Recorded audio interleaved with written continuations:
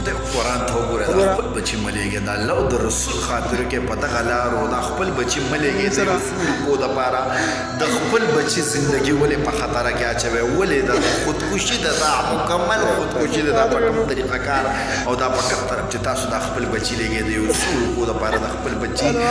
ژوند سره لوبې مکوي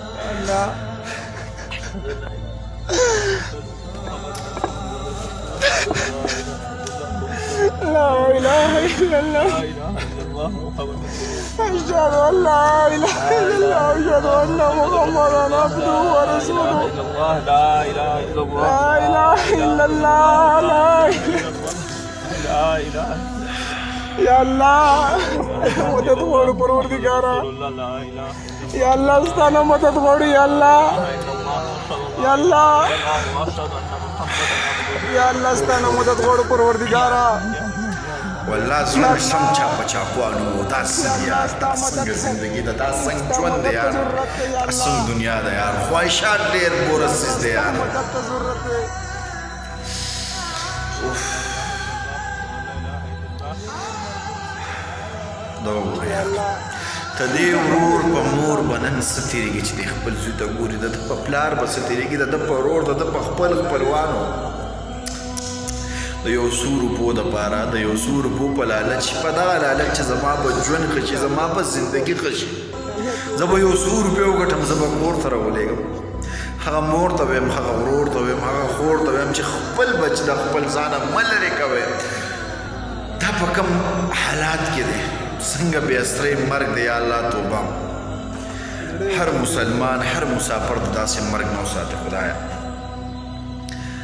خپل خواهشات چې کله انسان کنټرول کړي په خپلو خواهشاتو انسان کله کنټرول لا ولونه زندگی به ډېره برابر شي د هر چا خواهشات دي سیال سیالي ده تر تربور سره د هر مړه والله چې دا سیال سیالي او دا تربور مربور دا قصې او دا خواهشات لږ په کنټرول شي زندگی ډېره ښکلې ده یار ته مجبور یې نم ډېر خلک چې دغه خلکو ته وایم چې ملېږه دا خپل بچي په دغه لارو ملېږه د دې خپل بچو سره کو مینه کوي دا خپل بچي کو تاسو ته ګراني ملېږه په دغه لارو ملېږه په دغه لارو سوال د تکو داسې بیا سرې مرګیا لا یو مسافر تم دا ورځ ورکه خدایا زما دغه ټول مسافر رونه کو په هر ځای کې د دنیا په هر ګټ کې د ډیرو مجبورونه د ډیرو بیوسونه د خپل وطن نه تلی کور کلی خزا بچی مور پلار هر یو سیس ته پاتې د یو سور په د پاره چې زما یو دوټه مریض په زما جامه پیزار وي زما مور خوشاله وي زما پلار خوشاله وي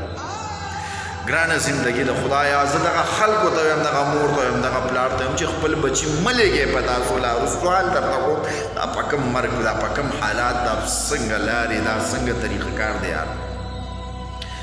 زما دا پیغام ورسره مخکې شعر کې ویره سوی هغه خلکو ته خدای قرآن خاطر وکړي د یو څو روپو دپاره خپل بچي مه تباه کوئ مه تباه کوئ مه لېږئ په دغه لارو خپل بچي چې سبا تاسو ته ستا بچی هم نه ملاوېږي د هغه لاچو هم نه ملاوېږي خدایا دا چې هر څوک وي الله د مور له صبر ورکړي د پلار له صبر ورکړي د ورور له د خویندو له صبر ورکړي ځکه دا ډېر ګران مرګ دی ډېر سخت مرګ دی یا الله ته ټول مسلمانان د داسې مرګ نو داسې لارو نو ساتي زما د ټول مسافر رونه په خیر خیرت خپل وطن ته راولې خدایا والله چې نن رانه خبرې نه کیږي قسم په خدای چې نن رانه خبرې نه کیږي دا سال دی یار